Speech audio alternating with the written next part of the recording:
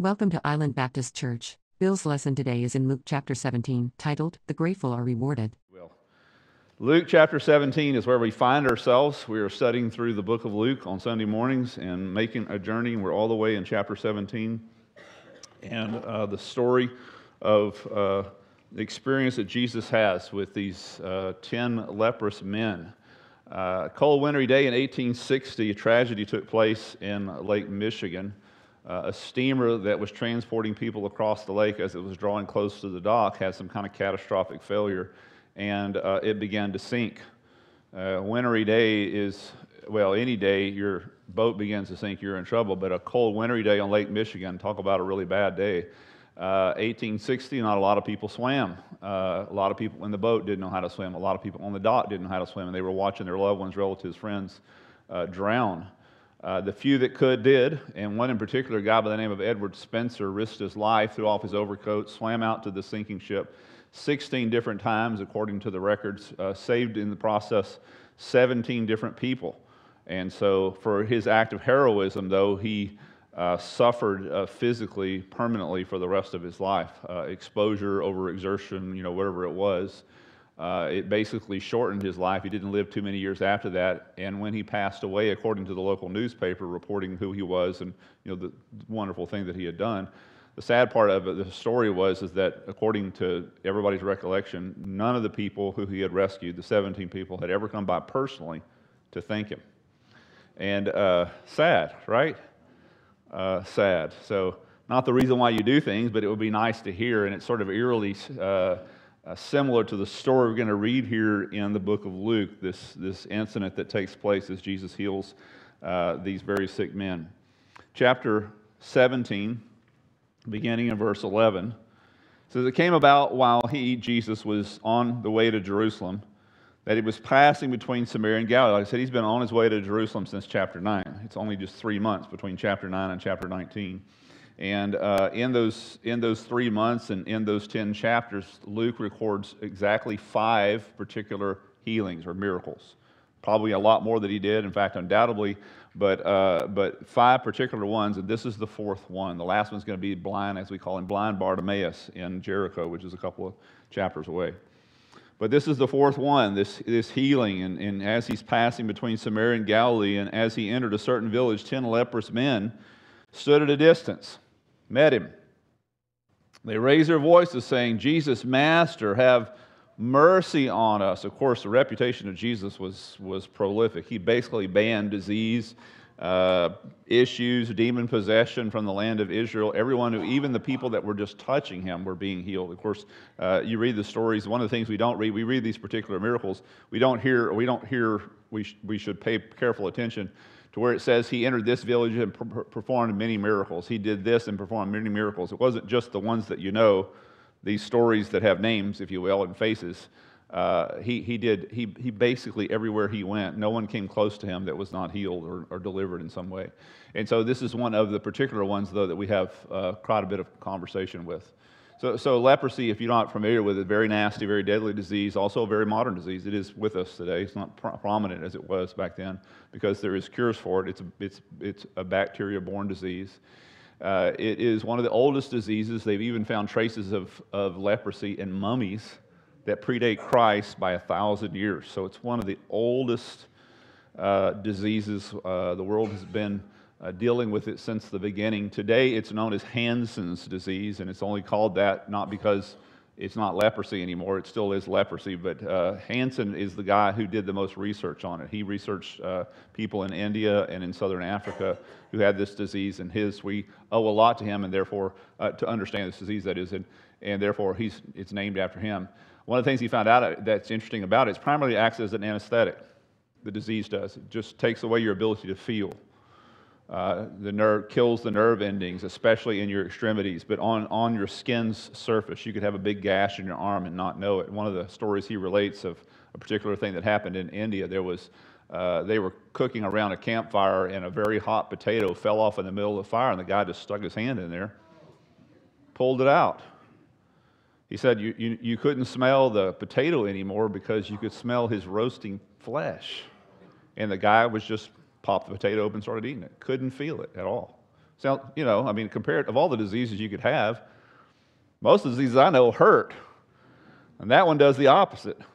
But, but God has given us the ability to feel pain and a sense of touch and feel for a very good reason. And one of those reasons is demonstrated in, in um, this whole thing, Hansen's disease or leprosy, because when you can't feel heat or cold or uh, you can't feel, they can't feel fractures or sprains or injuries of any kind. So, so you damage yourself and you don't even know it. And which leads, of course, to infection, which leads to further issues. And this is the reason why, well, you know, uh, famously, uh, uh, Hansen's or, or leprosy is known for people losing their fingers and their toes and their ears and their noses and stuff like that because that's what happens. You get injured and, and you don't know you're injured.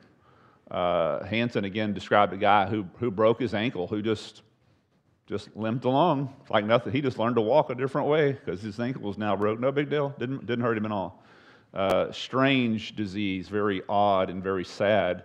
Uh, transmitted through touch, you're probably familiar with that. Transmitted, if, even if you come in contact with the clothing that the person was wearing, also is transmitted through the air. You can breathe it in. And so, of course, in the old days, there was no cure. Today we have antibiotics. Back then, they didn't have it. And so, if you caught uh, leprosy, you were segregated for the rest of your life, your natural life, uh, away from family and friends till the day that you died. So it's sad physically, and it's also sad emotionally and, and socio- sociologically because you have this. That was the only way they knew how to deal with it. And so you can understand the, the desperation of these men as they come to Jesus. Master, please have mercy on us. Verse 14. And when he saw them, he said to them, Go and show yourselves to the priest. And that's a little odd. I don't know if it, I don't know about y'all, but I was thinking, you know, shouldn't we pray first? You know, I mean, shouldn't we kind of pull out the anointing oil? I don't know what we need to do here. It wouldn't be, uh, you know, I would think that he would have done something differently because you go see the priest, that's Old Testament rules, because you went to see the priest after you had been healed. Course, on the way, if you know the story we're going to see, on the way they get healed, but they leave his presence unhealed and be like, now, wait a minute, we just got to Jesus. Let's make sure we don't leave here until, you know, stuff's taken care of. But Jesus says, no, go show yourself to the priest. Reminds me of the story in the Old Testament of another leprous person by the name of Naaman. Remember the story? He was a Syrian, and he heard that in Israel there was a prophet named Elisha who, who, through whom God did great miracles and healings. And of course, like I said, this terminal disease and horrible way to live he goes and finds his way to Elisha's house. But when he comes and asks for Elisha to come out and pray over him or anoint him or do something or ask God to, to, to heal him or whatever, Elisha doesn't even come to the door, just sends his servant.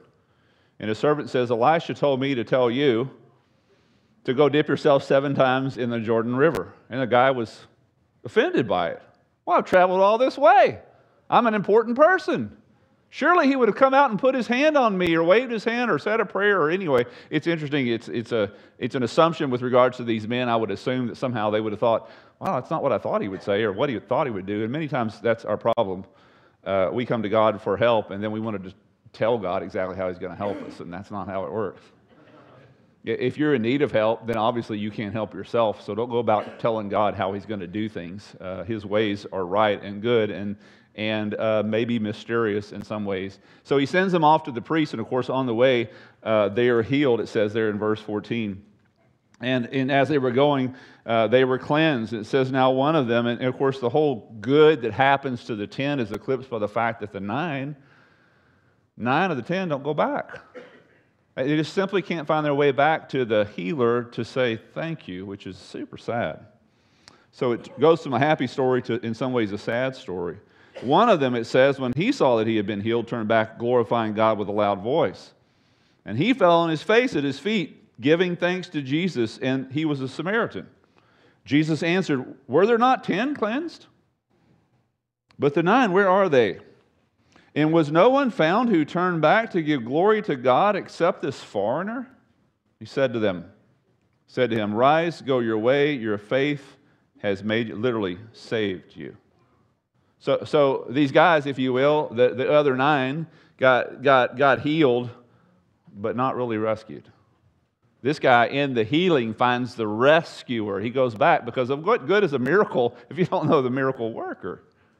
You see, sometimes we, we come to God for things and we think that's all that we need, and God's saying, listen, this is the least that you need. Because I don't know if you know about these nine. Have you ever met these guys, by the way? Of course not, because guess what? They didn't die from leprosy, but they did die from something else.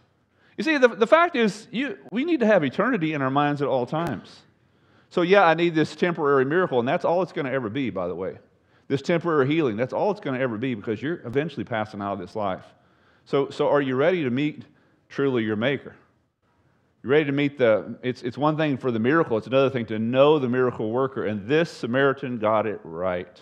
See, his heart of gratitude sent him back because he knew better than I don't just need healing, I need to know the healer. But what kept these guys from their healer was ultimately their ingratitude. And again, uh, such a sad story, and it, it begs the question of why didn't they go back? What got the one guy there and kept the other guys away? And it's speculation because the scriptures don't answer that question. But I'd be willing to bet with a little bit of speculation on our part, we could find reasons among ourselves why we wouldn't have gone back.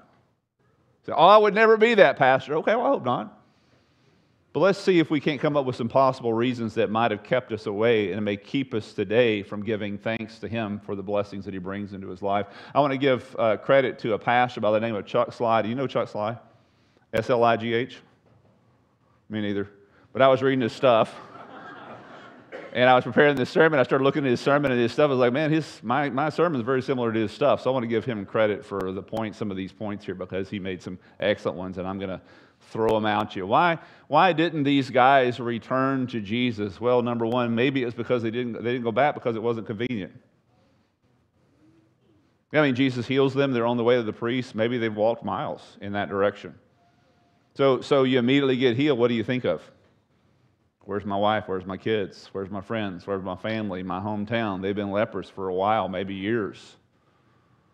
But, but, but the only one who has sense enough to know how it really works is this Samaritan. So, you know, those things matter, and we'll get to those things. But what really matters is the one who healed me.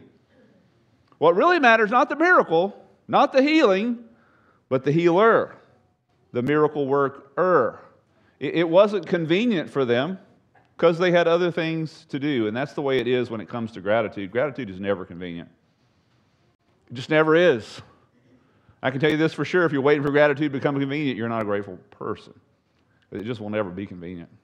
It's never convenient when someone does something for you, for you to write a card to say, or to go out of your way to say, thank you. It, it, takes time away from something else you could possibly be doing. Like I said, these people could go see their friends, they could go see their family, they've been without them for a long time. It is, uh, the scripture says in Hebrews that, that uh, calls praise a sacrifice. We bring a sacrifice of praise. What is a sacrifice? Cost you something. It's, it's, expen- it's sometimes more expensive than others. It's an expense, if you will, to bring gratitude to God. It will not be convenient for you. And if you're waiting, well, then you never will be grateful. You're waiting for it to be convenient for you. Well, it won't be. Won't be convenient for you. Of course, I'm here preaching to the choir. Won't be convenient for you to come to church on a regular basis. If you're waiting for it to be convenient, I can tell you, you don't come very often, do you? Because it's not convenient. It's not convenient. You, you think it's, uh, you know, and they say, oh, well, you get paid to be up there. Well, and I do get a salary, and I'm really, really appreciative of that. But I can tell you some Sundays, I don't, really don't want to come. I'd rather stay home and watch it on television myself. But I praise God I don't have that privilege because there'd be a lot of days I'm just like, you know what? I don't feel very good today. I don't feel like it. I don't like half the people up there anyway. And so I'm not coming. or I don't think they like me. Doing, doing what's right is inconvenient. Re- returning thanks and praise to God will always be, in this life, inconvenient for us. It'll be inconvenient for you to, to, to spend the time that you need with God every day in prayer, in Bible study. If you're waiting for it to be convenient, you will not do it. That's why you're doing it here and there, because you're waiting for convenience, and I'm already burst a bubble for you now. I'm telling you, it'll never be convenient for you. You, you don't fit, God doesn't fit into your life you fit into Him. So find a way to fit Him in. Make, make a spot. If you say God matters, well, then does it have priority on your daily calendar? Does He? It'll never be convenient, it'll always be a cost. Praise always costs us something. Gratitude always costs us something. These guys didn't go back because it was too inconvenient for them. Another reason, possibly, why they didn't go back, these nine, is because they were too proud. Uh, gr- gratitude is humbling. Gratitude is me saying to you, I needed you and you helped me out. And that says one thing about me I was needy. And people don't like to say that. I've got it all together. No, you don't. No one does. The reason why we bring gratitude is because that person helped you when you needed help, or God helped you when you needed help. God came through, and we bring gratitude back to Him. But part and parcel with that is to say, I don't have it all together. I don't have it all figured out. I don't have everything in, lined up, and, and I never will. And it's hard. It's hard to say that. It's hard. Pride keeps us from so many things we talked about last week. If you can swear off of anything in 2023, let it be pride. Let it be pride because the scripture has so much to say, problems that it's going to bring into your life, as it says there, James 4. God resists the proud. You just don't need that. Simple solution humble yourself. He gives grace to the humble. Notice, that's, that's not just miracles, that's bigger than miracles. See, that's what this man realized. I, I don't need just a temporary healing. He's going to die from something else anyway, right? I need the grace of God. And I need to go back to the one who dispenses that grace and give gratitude and thanks where gratitude and thanks are deserved. We really need humility. We really do in every area of our lives. We really do. That's why we need to be thankful in every area. Every little, we're talking about these kids your hair, your clothes, your shoes, your car, the air conditioning, the warm weather. I'm sure you're being thankful for that. Uh, the other things, I mean, we, we so desperately need to just make a huge laundry list. Grateful for this, I'm thankful for this, I'm thankful for this, I'm thankful for the struggles, I'm thankful for the, the trials. Because look at what it's done for me. Made me a better person. I read a story similar to this that relates to this of a, of a soldier who relates the story of his experience with a humble man in Wiesbaden, Germany. He was, he was um, an army GI uh, stationed in Germany. Anybody here stationed in Wiesbaden? Anybody? Where are you, Edward? Where were you? Anaheim, okay. Nobody else in Wiesbaden? I think Tracy's next. Tracy, are you next door? Hi, Tracy. This is her third time to listen to my sermons. I think Tracy's trying to figure out if I've, if, if I do, if, if I say the same thing every time. I don't know. she was in Wiesbaden. You were in Wiesbaden, weren't you? Weren't you? My dad was stationed in Wiesbaden, Wiesbaden, Germany. I've been there, actually. I stayed on the Rhine there uh, one time. Anyway, the story goes uh, this GI uh, just got enlisted, just sent to Germany, stationed there, and uh, joined a Christian, joined a local English speaking church. And noticed that one of his ranking officers, higher ranking officers, was a deacon inside that church. And this guy was, was, was a big dude, I mean, in the sense of his importance. Very high security clearance, uh, was an expert in the Russian language. Of course, that was all uh, key and still is, I guess, key uh, in that part of the world, in our world today. And uh, he was in the Sunday school class, men's Sunday school class, and this man was a part of the Sunday school class. And the teacher called on this man, this particular high ranking officer, to pray. And he said, I don't know what I was expecting from the guy, but it wasn't what I got. He said, I was expecting some kind of very educated, very precise, very theologically, I don't know, detailed uh, prayer. He said, I'm not sure what I was expecting, but he says, it definitely wasn't what I heard. He says, as soon as I shut my eyes, I heard this guy pray these words Dear Jesus, thank you for the grass. Thank you for the trees. Thank you for our houses, for our clothes, for our cars, for our coats, for that keep us warm. He said, I opened my eyes thinking, is that the same guy you know? Is this guy for real? And he said, of course, stationed there for years, he says, I came to realize, now, this, you know, yeah, at work, he's he's a bigwig. But when it comes to relationship with God, he's humble. He humbles himself. We so desperately need to be grateful in everything because we need humility in everything. Maybe that's what kept them away. Maybe number three, the thing that kept them away is because just doesn't Jesus know that we're thankful? Doesn't he know? Oh, we don't need to go back. I mean, he's the Son of God. He can heal us out of, the, out of thin air. He knows what, how we feel. Doesn't he? He sure he does. But it reminds me of the story of Billy and Viola. You know that story, right? You know the story of Billy and Viola? So Viola says to Billy, Do you love me? You know that story? Viola says to Billy, Do you love me? And Billy says, Of course I love you. Don't you remember 40 years ago when we got married? I said I loved you, and if it ever changes, I'll let you know. You know that story. Change the names, it's the same. It is good to know things, right? But it's also nice to not be taken for granted. We take God for granted when we don't thank Him. We take Him for granted. You say, oh, what's the use of thanking Him for the grass and the trees? Well, He doesn't have to add those things into your life, He doesn't have to enable you to see them or experience them. He doesn't have to do anything good for you. It'd be worth your time to thank Him and not take Him for granted for these things. And also, when you consider those who are taking Him for granted, isn't, it, isn't the world living in a common grace? We live in a world that has absolutely no, no thanks for God. I mean, no time for God, no place for God in their lives. God is a servant who does what we want, and when we don't, when He doesn't do what we want, well, then we reject Him. We push Him off to the side. That's the way the most of the world lives. You and I, as Christians, have been called to be two things sight, uh, light and salt. Light and salt means when the whole world's dark, we bring the light. When the whole world's rotten, we bring the thing that keeps it from rotting. So when it comes to gratitude, that our, the, the weight should fall, not just should, it does fall on us. The whole world is experiencing His grace. They're shaking their fists at heaven, and yet they're still alive. Still got their jobs, a roof over their heads. Why? Because God is being gracious to them, even when they don't thank Him. So, so when it comes our turn, are we doing any different than that? Any better than that? So, so the world's all messed up and it's all dark, and you and I, it comes our turn to say thank you. And when we do, it's the single face that's turned upward, saying all that is good is because of Him, because it's true.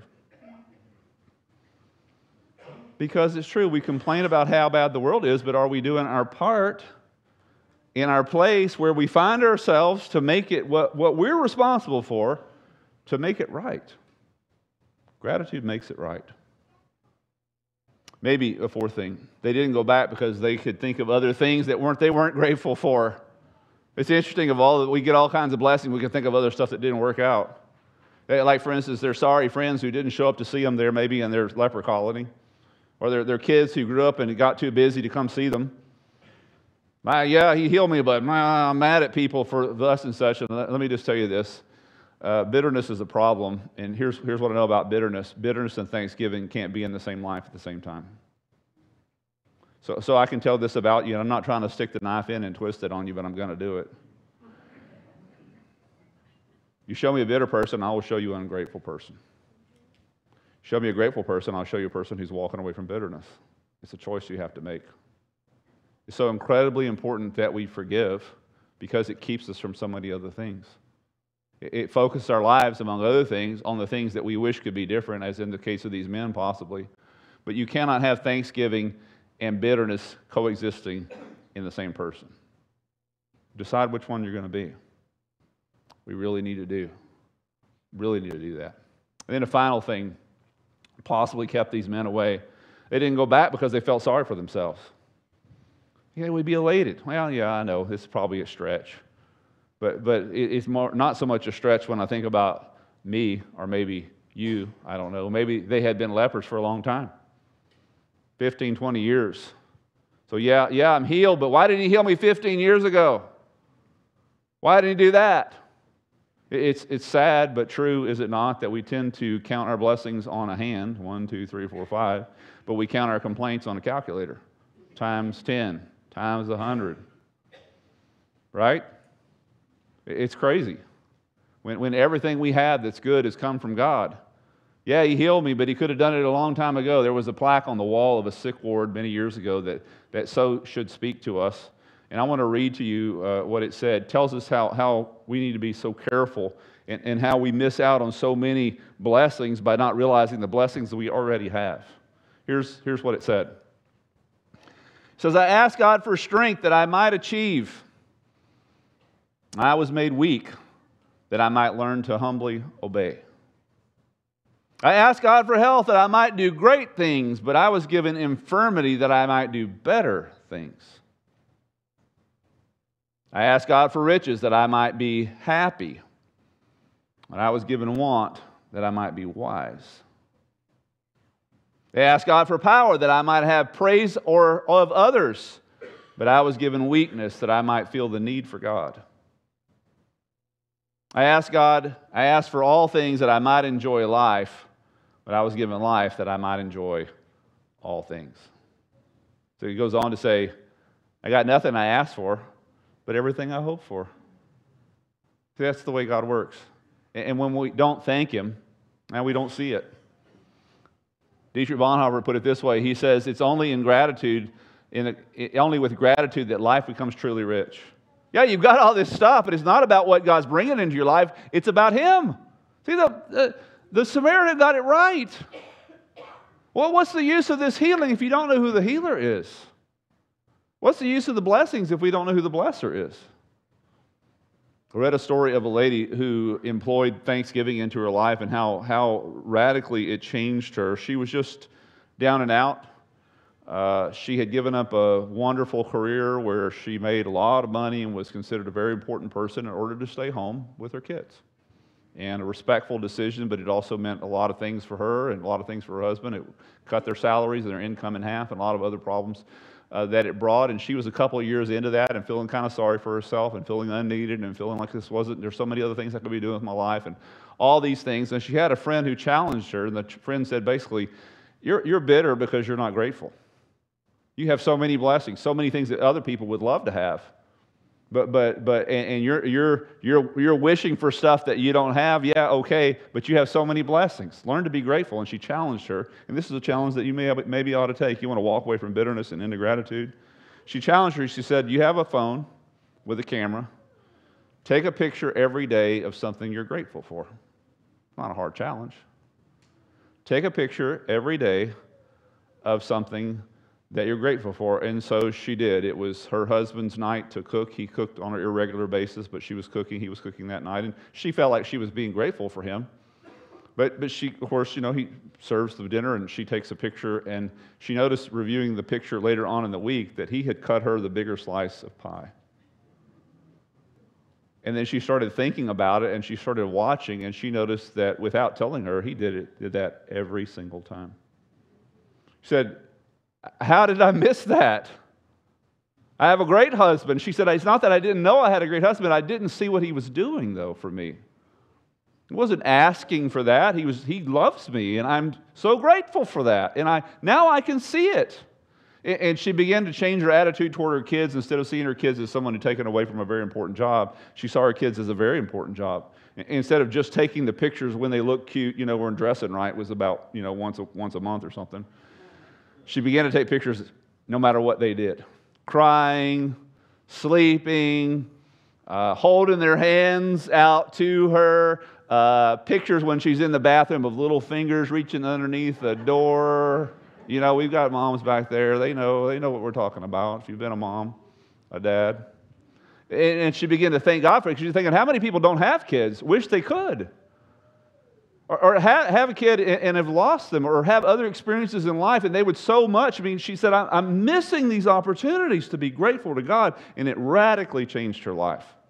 She said nothing got better. I mean, technically, nothing changed, but she changed because of gratitude. So, so, so hear me on this. Our riches aren't whatever God brings into our lives.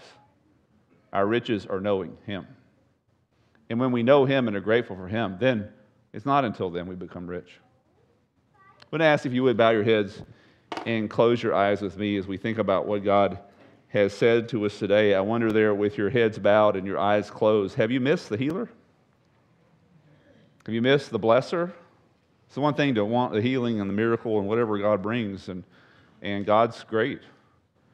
And God's good to us. But, but a horrible thing that when God does these things in our lives for us, like these men, to miss the healer. What good is the healing without the healer? What good is the blessing without the blesser?